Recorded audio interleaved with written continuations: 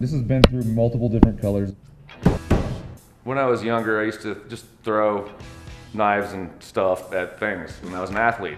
Don't worry, this story isn't what you think it's going to be. Waldon Cox grew up doing regular things, trust me. He was a basketball player and actually pursued a full time music job. But 10 years ago, Waldon went through a divorce. The therapy method of choice? Axe throwing. It was a li- li- literal light bulb. Like it legitimately was like a, what? Like really? Really?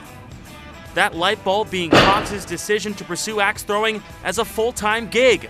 Really? I never would have thought if I could travel back in time to, you know, tell myself as a teenager, this is what you'll be doing in your 40s. It's almost insane when you put it on paper that I actually get paid to do this. The pro axe thrower slash coach at Bad Axe Throwing here in Denver is a special kind of hurler, a trick shot master, you could say. He was the champion for the Angry Wood tournament last year in Oklahoma and creates viral trick shot videos on his Instagram page. This month, Waldon went to Atlanta to compete in the World Axe Throwing Championships. He told me he doesn't even know what place he finished in, but that's not the point. The community is great. The fact is that everybody is a good sport about it all the time.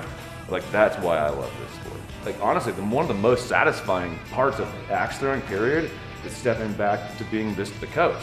And coach did a good job when I was there. Bullseye on the fourth try.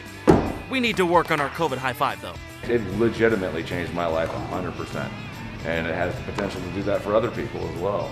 And after experiencing this horrendous year, maybe we should all just go throw some axes and relieve some stress. Jacob Toby, 9 News.